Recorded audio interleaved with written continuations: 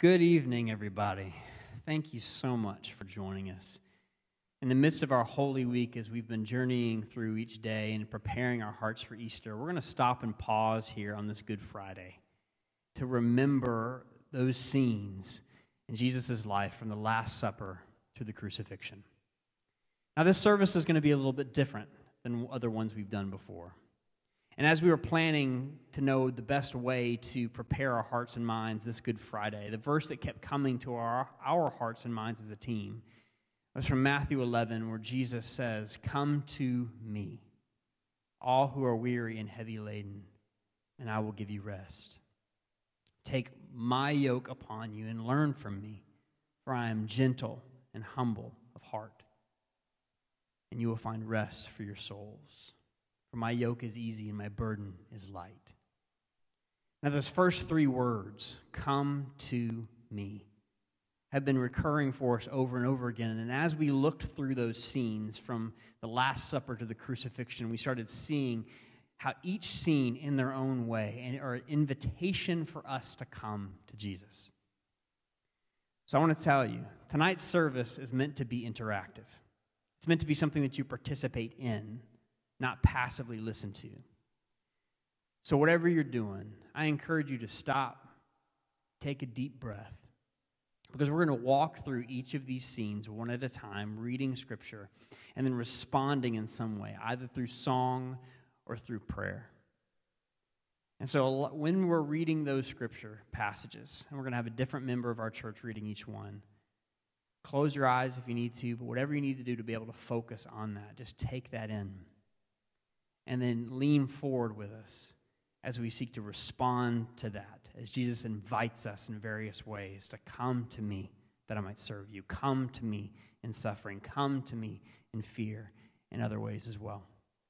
So let's begin this whole service by just hearing the word of God. John 13, 1 through 9. It was just before the Passover festival.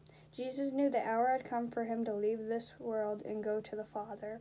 Having loved his own who were in the world, he loved them to the end. The evening meal was in progress, and the devil had already prompted Judas, the son of Iscariot, to betray Jesus. Jesus knew that the Father had put all things under his power, and that he had come from God and was returning to God. So he got up from the meal, took off his outer clothing, and wrapped a towel around his waist. After that, he poured water into a basin and began to wash his disciples' feet, drying them with a towel that, that was wrapped around him. He came to Simon Peter, who said to him, Lord, are you going to wash my feet? Jesus replied, You do not realize what now what I am doing, but later you will understand. No, Simon, said Peter, you shall never wash my feet. Jesus answered, Unless I wash you, you have no part with me. Then, Lord, Simon Peter replied, not just my feet, but my hands and head as well.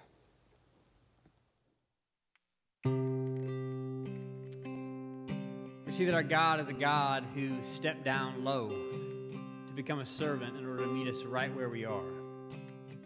He came as one to serve us, which means that if we're going to come to Him, then we come to Him ready to receive first which isn't always easy for all of us to receive. But just as Peter learned when he came to Jesus, that Jesus said, Unless you learn to receive Peter, you will not have life in me. So let's just sing and respond now. And as we sing these words about how good he actually is, understand that those words, he is good to us. We'll sing this with us.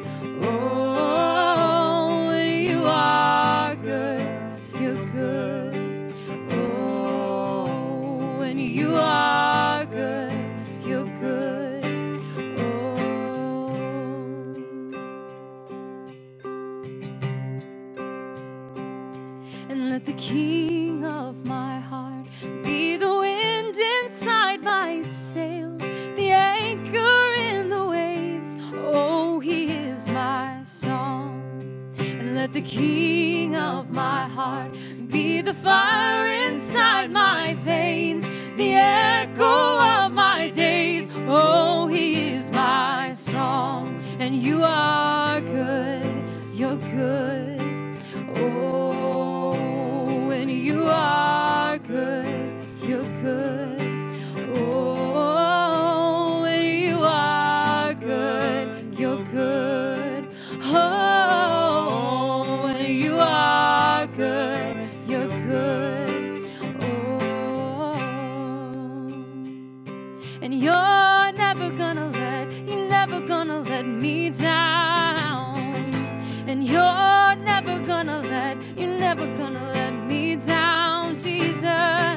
You're never gonna let, you're never gonna let me down. And you're never gonna let, you're never gonna let me down. You are good, you're good.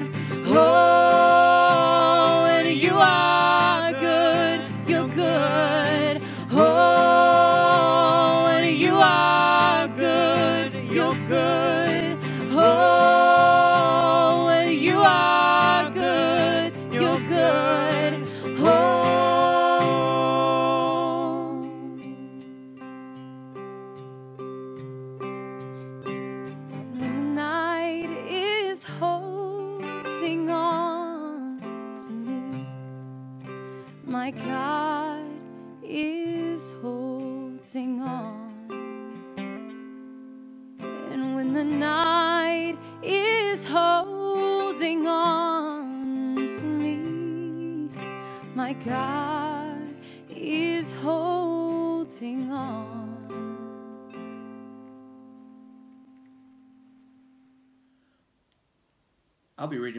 Gospel of Mark, chapter 14, verses 32 to 42. They went to a place called Gethsemane, and Jesus said to his disciples, Sit here while I pray. He took Peter, James, and John along with him, and he began to be deeply distressed and troubled. My soul is overwhelmed with sorrow to the point of death, he said to them. Stay here and keep watch. Going a little farther, he fell to the ground and prayed that if possible the hour might pass from him. Abba, Father, he said, everything is possible for you. Take this cup from me. Yet not what I will, but what you will. Then he returned to his disciples and found them sleeping. Simon, he said to Peter, Are you asleep? Couldn't you keep watch for one hour? Watch and pray so that you will not fall into temptation. The spirit is willing, but the flesh is weak. Once more he went away and prayed the same thing. When he came back, he found them again sleeping because their eyes were heavy. They did not know what to say to him. Returning the third time, he said to them, Are you still sleeping and resting? Enough. The hour has come. Look, the Son of Man is delivered into the hands of sinners. Rise, let us go. Here comes my betrayer.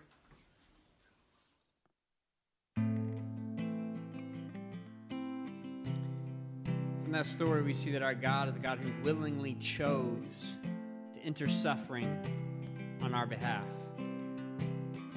But He's a God who didn't just suffer in our place, but He's a God who comes and meets us right in the midst of our suffering to suffer with us. We may not always understand why trials, difficulties come, but we see that He's a God who is with us in the midst of it.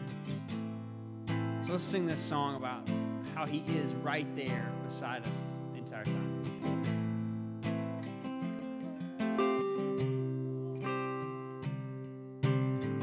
There's a grace when the heart is under fire. Another way when the walls are closing in.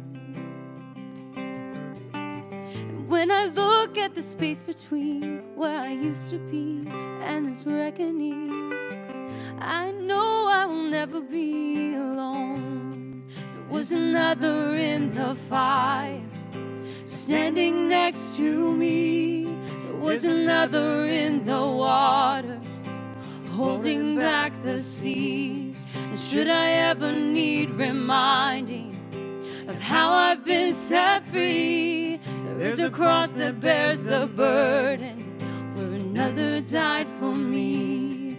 There's another in the fire. Oh, Jesus.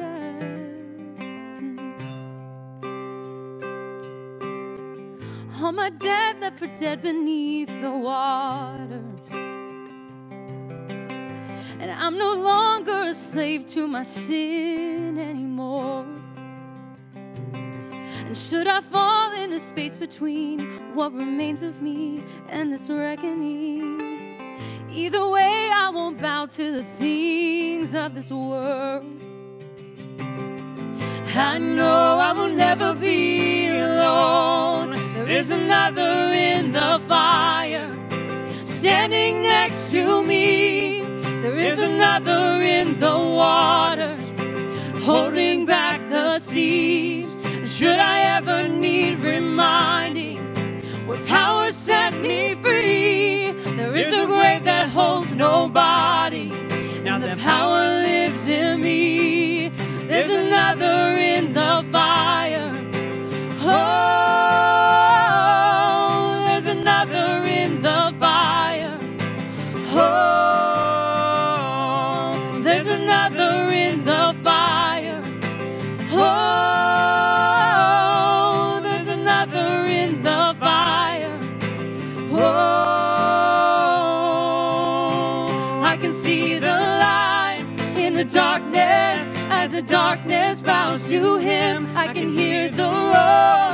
the heavens as the space between wears thin. I can feel the ground shake beneath us as the prison walls cave in. Nothing stands between us. Nothing stands between us.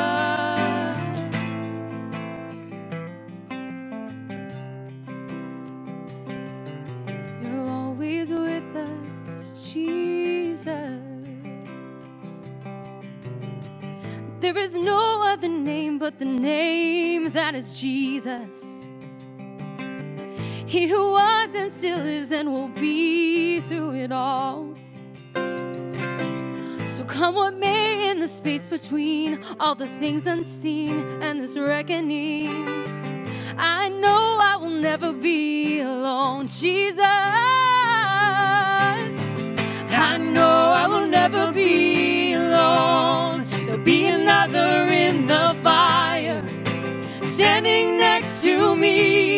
There'll be another in the waters holding back the seas. And should I ever need reminding how good you've been to me, I count the joy come every battle.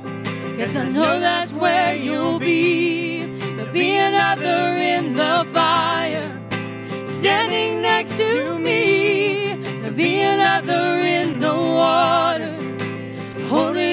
the seas. Should I ever need reminding how good you've been to me, I'll count the joy come every battle. Cause I know that's where you'll be. Count the joy come every battle. Cause I know that's where you'll be. Count the joy come every battle. Cause I know that's where you'll be.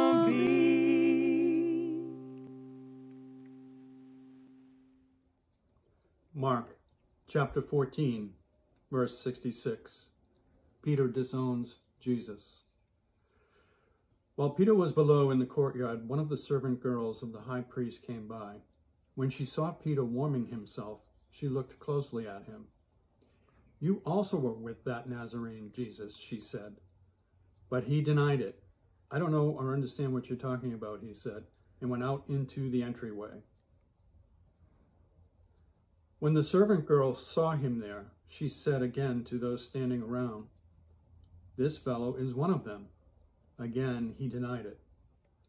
After a little while, those standing near said to Peter, Surely you are one of them, for you are a Galilean. He began to call down curses on himself, and he swore to them, I don't know this man you're talking about. Immediately the rooster crowed the second time. Then Peter remembered the word Jesus had spoken to him. Before the rooster crows twice, you will disown me three times. and he broke down and wept. Peter lied about knowing Jesus because he was afraid of what might happen to him if he told the truth. He was scared of what they might do to him.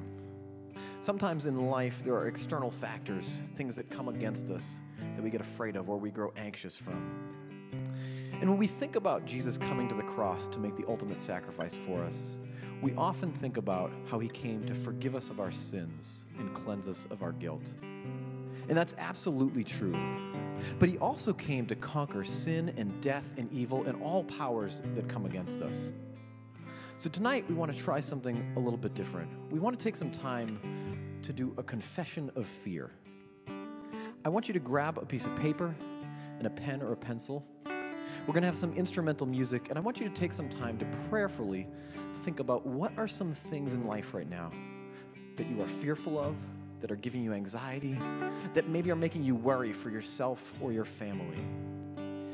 Think about those for a little bit, write them down, maybe journal about them for a couple minutes, and then pray that Jesus would overcome those and bring you deliverance from those things.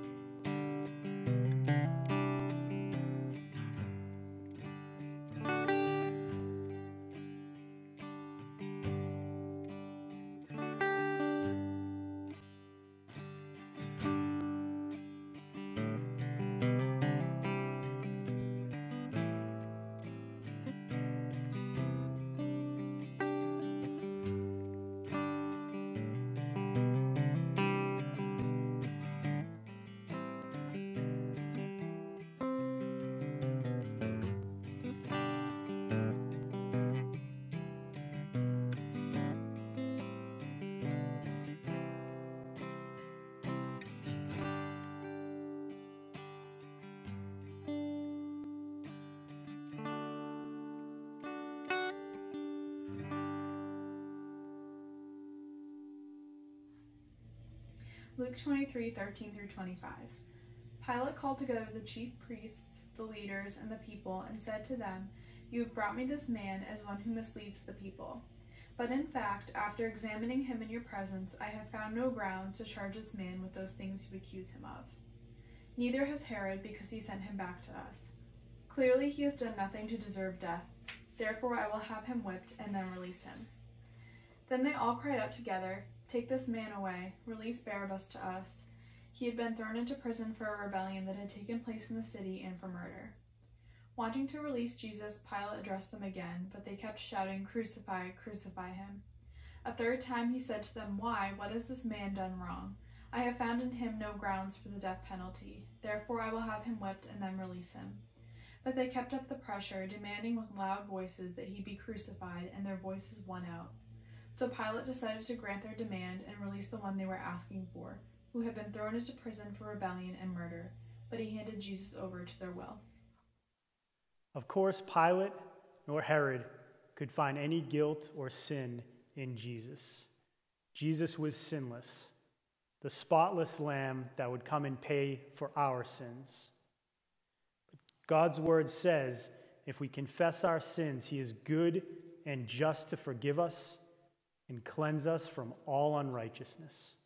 So, with that in mind, would you join me in this responsive prayer where I will read the normal text and you can respond in the bold text? Lord, you showed us true humility by becoming one of us. Yet too often we practice pride. You cried alongside your friends and for the city of Jerusalem.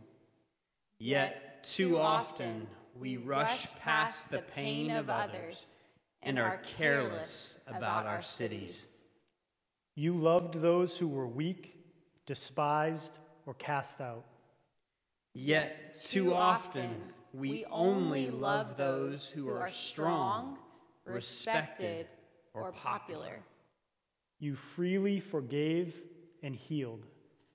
Yet too often we hold grudges and cause pain. You lived a perfect, holy life. Yet too often we do not yearn for righteousness. You prayed that we who believe in you should be united with each other and you. Yet too often we focus on the differences that separate us from other believers. You were mocked, whipped, and even killed for us. Yet too often we deny you. You call us to be the salt of the earth and the light of the world. Yet too often we blend into or hide from our culture.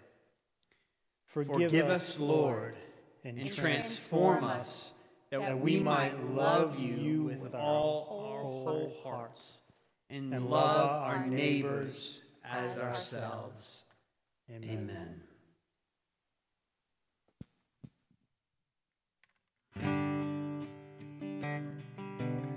Will you join us as we just sing this hymn, Jesus Paid It All?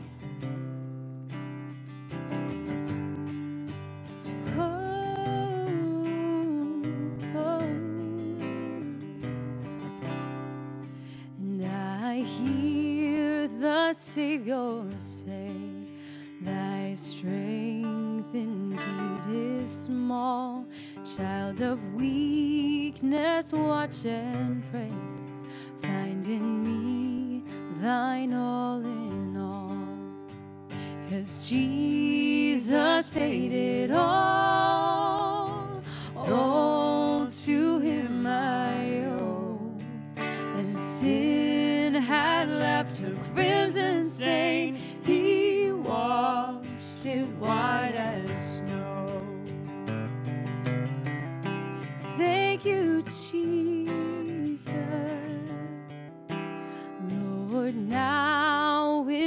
I find thy power and thine alone can change the leper's spots and melt the heart of stone.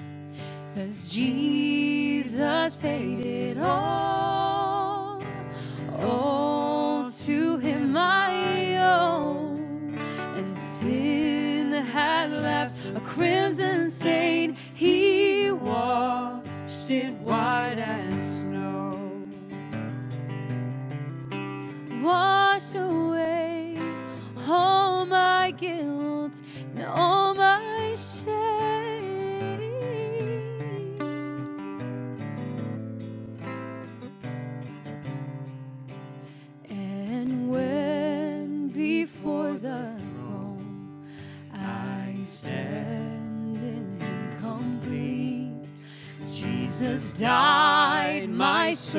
To say, My lips shall still repeat And Jesus paid it all. All to Him I owe, and sin had left a crimson stain. He washed it white as snow and sin had left a crimson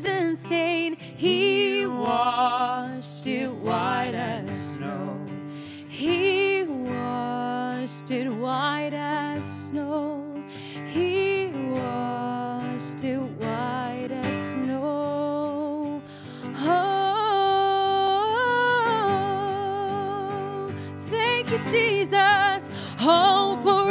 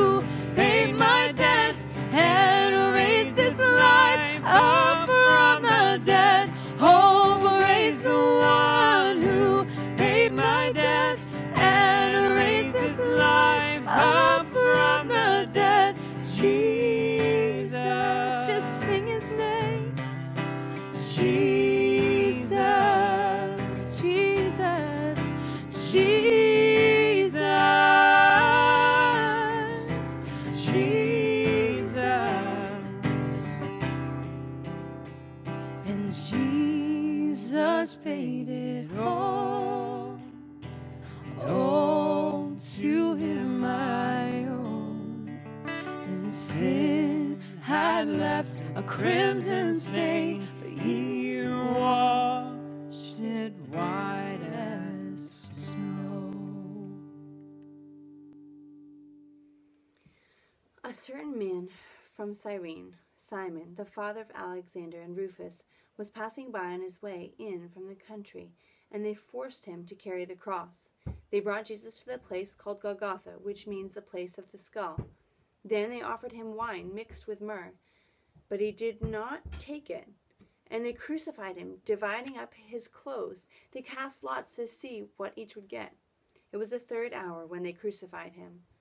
The written notice of the charge against him read, The King of the Jews. They crucified two robbers with him, one on his right and one on his left. Those who passed by hurled insults at him, shaking their heads and saying, So, you who are going to destroy the temple and build it in three days, come down from the cross and save yourself. In the same way, the chief priests and the teachers of the law mocked him among themselves. He saved others, they said, but he can't save himself. Let this Christ, the King of Israel, come down now from the cross, that we may see and believe. Those crucified with him also heaped insults on him. At the sixth hour, darkness came over the whole land until the ninth hour. And at the ninth hour, Jesus cried out in a loud voice, Eloi, Eloi, lama sabachthani, which means, My God, my God, why have you forsaken me? When some of those standing near heard this, they said, Listen, he's calling Elijah. One man ran, filled a sponge with wine vinegar, put it on a stick, and offered it to Jesus to drink. Now leave him alone. Let's see if Elijah comes to take him down, he said. With a loud cry, Jesus breathed his last. The curtain of the temple was torn in two from top to bottom. And when the centurion who stood there in front of Jesus heard his cry and saw how he died, he said, Surely this man was the Son of God. Lord, I thank you for this passage. I thank you for, we're, for what we're remembering tonight, that we are reminding ourselves of the sacrifice that you made, that you came to make without withholding yourself, but fully offering yourself as a servant to us, even unto death, Lord. You did not say that we had to take some part of the punishment, but Father, you took all, all of our unrighteousness and left not one bit remaining. So we praise you, Father. We thank you that is because of your willingness to serve us, your willingness to take our place on the cross, that we are able to have communion and fellowship, relationship, and unity with you. We praise you for you are worthy of all of the glory and all of the honor. In Jesus' name, amen. So often, when I read the story of the crucifixion, I picture Jesus hanging high on a cross, far away from the people who are mourning his suffering. I picture him up there and us so far from him. But what I love about this song is that it helps me to picture him holding us in an embrace, drawing us close to himself, even while he's enduring death, even while he's experiencing all of the pain and suffering we should be feeling. He is holding us and protecting us, even while enduring that.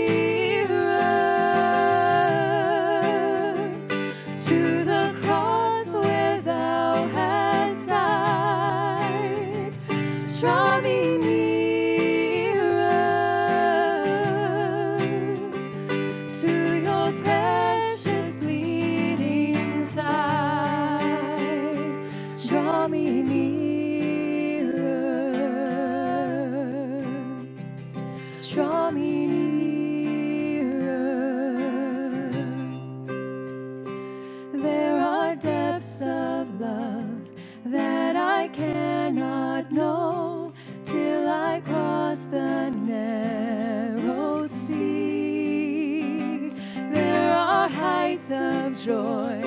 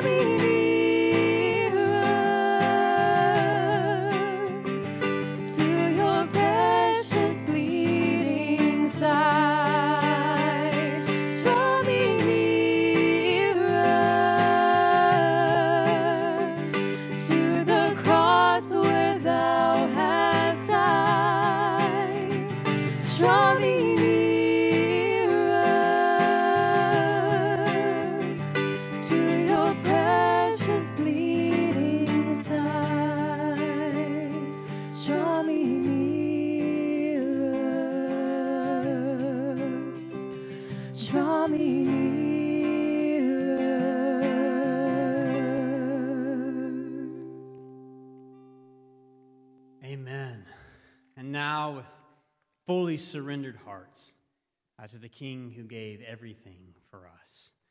I want to invite you to stand wherever you are and sing this last song with us.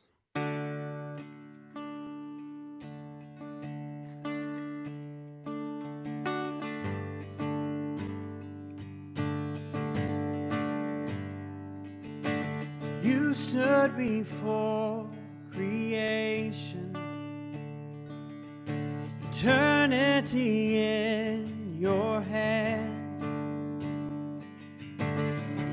You spoke the earth into motion, my soul now to stand.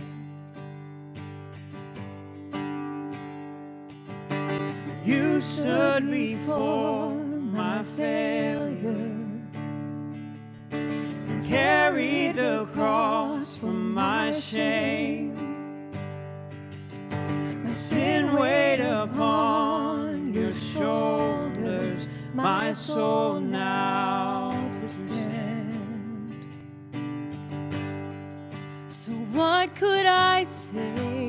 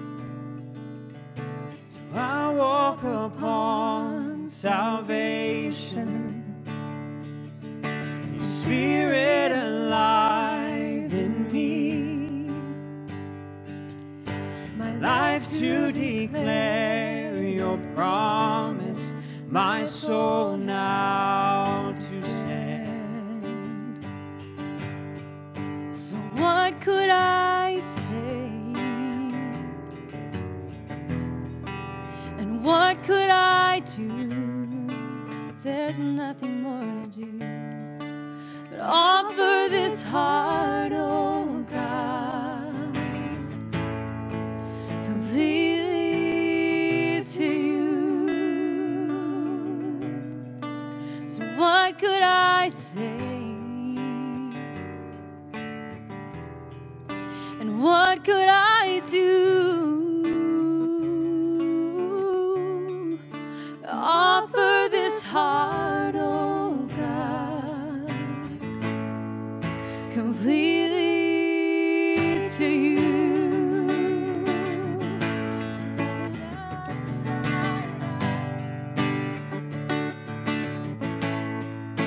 Together. I'll stand. So I'll stand with arms high and heart abandoned in awe of the one who gave it all. I'll stand, my soul, Lord, to you surrendered all. I am is yours.